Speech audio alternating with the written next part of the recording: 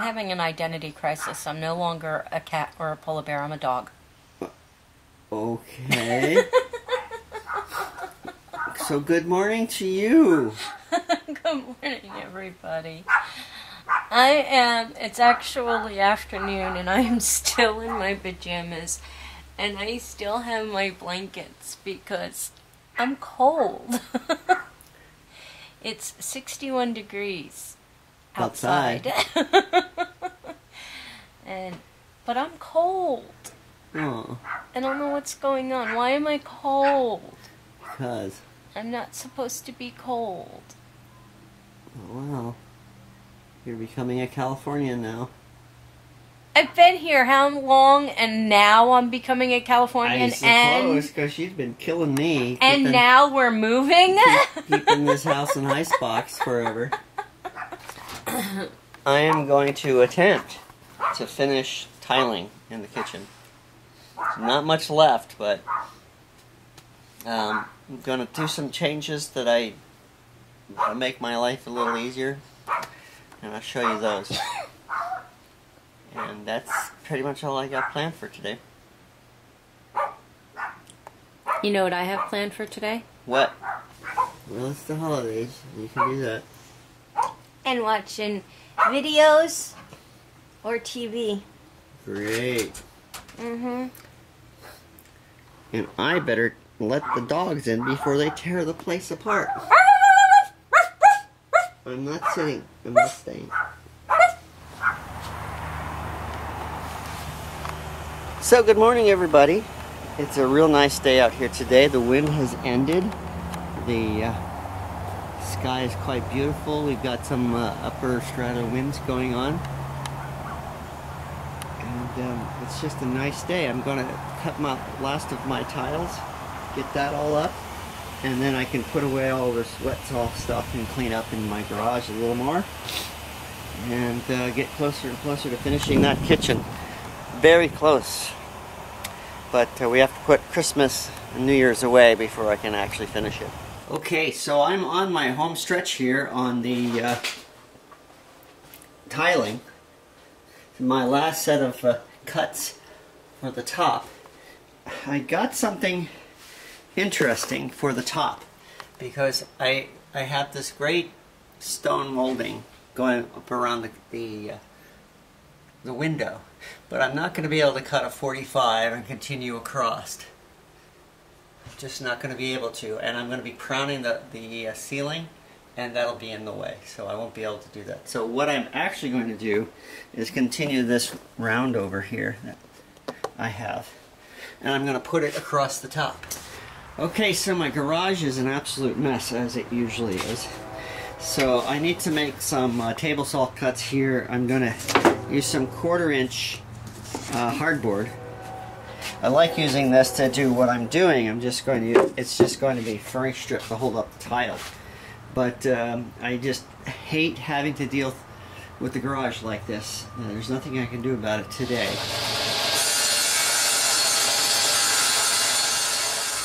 Okay, so I have fired up my compressor and I've got my brad nailer out and I am using the smallest brads I could find. I, these are 5 eighths of an inch so it's going to go into uh, just like 3 eighths of an inch into my wood. I want to use as few as possible. I don't want to have uh, a lot of holes to fill when I finish here. Okay, so I'm just going to use the tile as a guide for how much of this is, needs to be exposed just to hold it up. Scared me. And put one there, and that should hold it. I'm scaring the natives, apparently.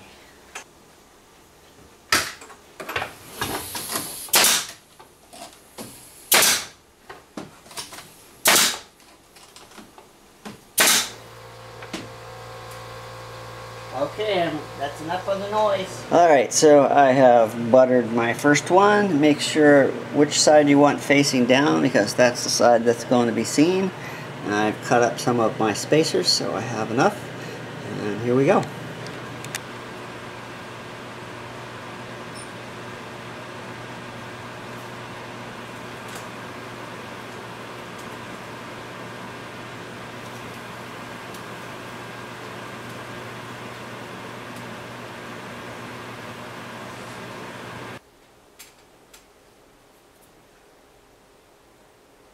Okay, so I've gotten the backsplash pretty much done. Didn't film any of it because it was pretty boring. But uh, I have the uh, picture frame all the way up to this tile that I did earlier. And I have to, instead of painting from this point up, I'm just going to continue this tile all the way up. So the whole back wall here is tiled. So I have to make those cuts for about an inch and a half on each side. And I was going to put a piece of wood up here. I think I talked about it before. Probably oak that was going to be darker stained to match these cabinets, but I decided not to do that. I still have some of this tile, which is the countertop tile, and I am going to cut the countertop tile about halfway up that wall there and uh, find out how much how far down my crown is going to come. So I don't want to have them overlap because I want to be able to shoot nails into the crown, so I'll have to glue it. Alright, so these are going to go next to the cabinet, between the cabinet and the, frame. Uh, every one of them needs a, uh, a beveled edge. One's going to be a straight cut edge and one is beveled. And I didn't want to waste a bunch of, of tiles just cutting ends off. So I need to bevel a couple of them and I'm going to use my belt sander to do that.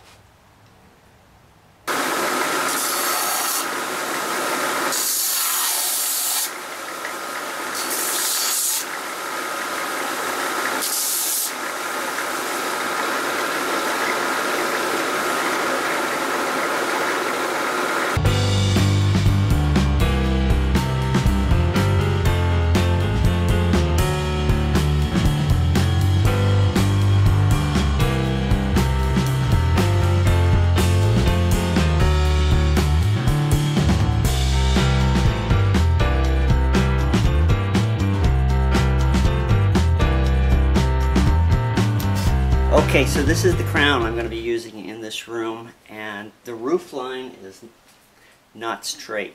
It's something I've been worrying about since we started this, how it's going to look. Uh, you could even tell by looking at it that it's just not straight. I don't know why. All I did was replace the, the drywall.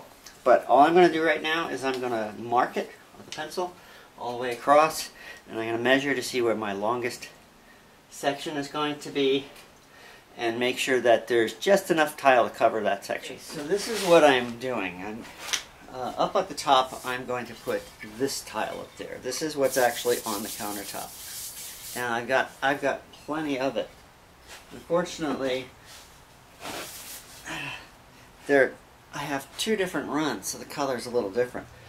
But I've got plenty of each to make it match. And I think I'm going to go with the darker instead of the lighter.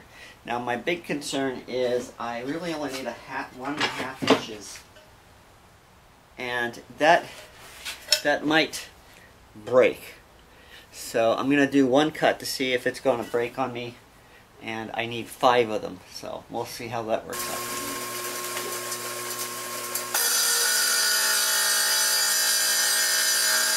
Okay, so I made my cuts. I hope you can see them. They're the same color as the counter. Same material.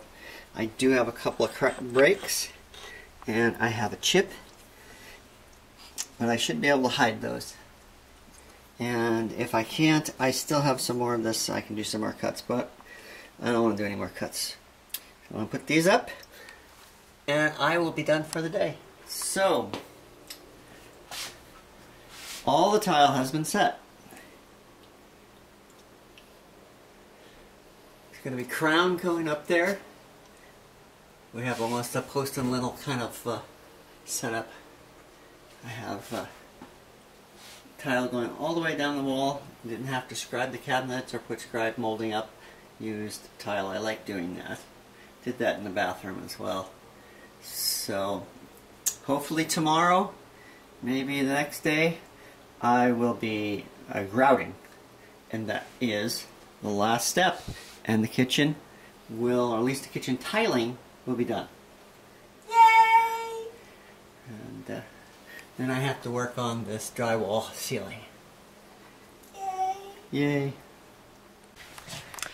So everybody, I hope you enjoyed hanging out with us today. It was mainly Kevin doing work in the kitchen. Yay! which is almost done. Yay! At least the tiling is almost done. then we got to do the crown and the painting and is that it? Uh, I have to do uh, the door jamb and uh, around two of the doors, the door trim, the door trim, The trim. and still have base to do. I still have chair rail to do, and uh, crown in the dining room. I'm gonna have to steal from the front room. He better get his butt working. He doesn't do anything all day long except sit around. He knows I'm kidding. Anyway, guys, I hope you enjoyed hanging out with him today and doing some of the kitchen work with him. And if you did, please give us a great big thumbs up.